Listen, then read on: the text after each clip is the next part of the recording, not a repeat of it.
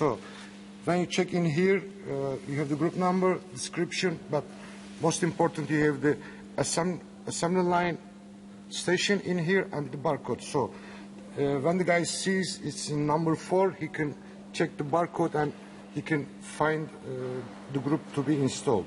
So basically, the input array is in here. So the operator can use the barcode in here. I will use a predefined one.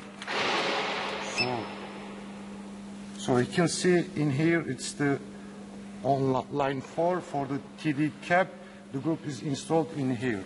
When you check in here the pre-assembly, you can see the parts pre-assembly before.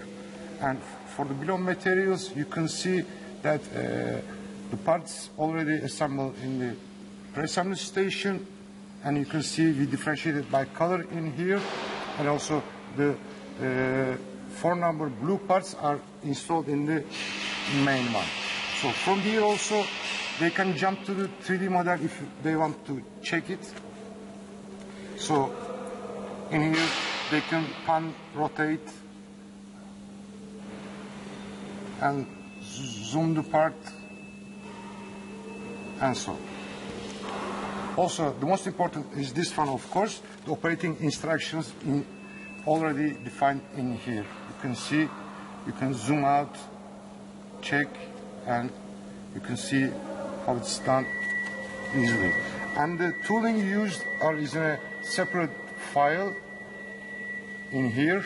The torque values, of course, it's uh, different for different companies. This is the standard uh, torque values for CNH, of course. So when we're back, you can see the video in here for very critical parts. Uh, they request to install the video also to the uh, operators. So you can see in here how it's done. So as you can see, we can easily jump to the main station for the TD5 light cap, or we can move from here to the TD5 platform group. So,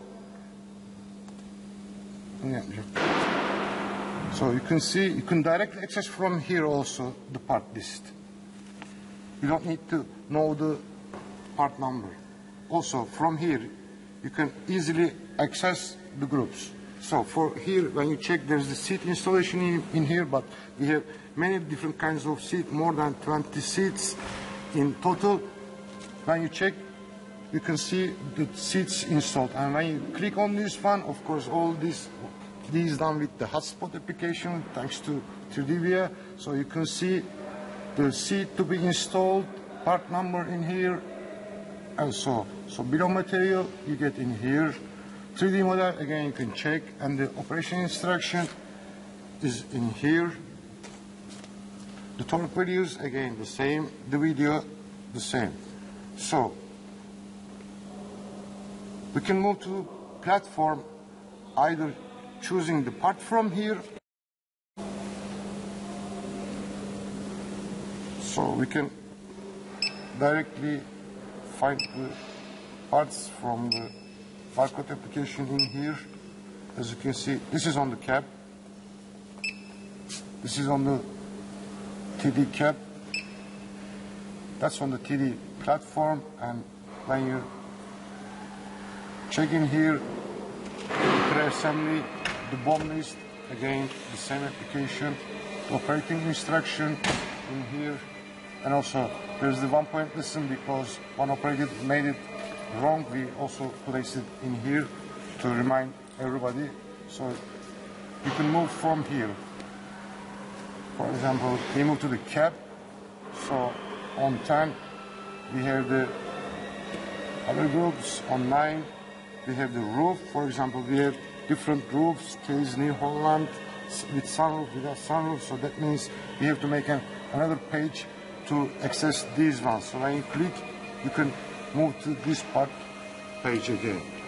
And also what we see is in here the assembly also the parts are assembled in here so there is a whole over link with the hotspot application within all the site so uh, that concludes for the uh, expression for the usage of 3DVIA Composer in Yaris Kabin. Thanks. See you next time.